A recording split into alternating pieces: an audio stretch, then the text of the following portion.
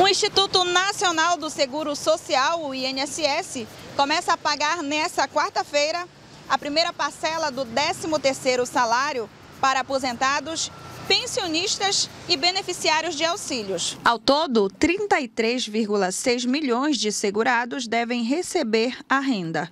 A gratificação natalina é liberada junto com o benefício mensal. Recebem primeiro os segurados cujo valor do benefício é de um salário mínimo e depois os beneficiários que ganham mais. O pagamento é feito conforme o número final do benefício, sem considerar o dígito verificador. Desde a pandemia de Covid-19 em 2020, o governo tem antecipado o benefício com o objetivo de estimular a economia. Por lei, o 13º deve ter sua primeira parcela paga na competência de agosto e a segunda na competência de novembro.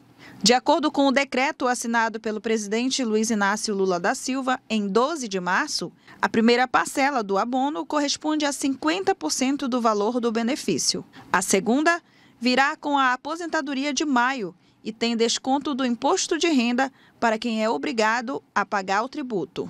Para os que recebem mais de salário mínimo, as parcelas serão liberadas depois do início do mês. Os pagamentos de abril são de 2 a 8 de maio e os pagamentos referentes a maio são de 3 a 7 de junho. O calendário de pagamentos do 13º salário do INSS 2024 segue o número final do NIS,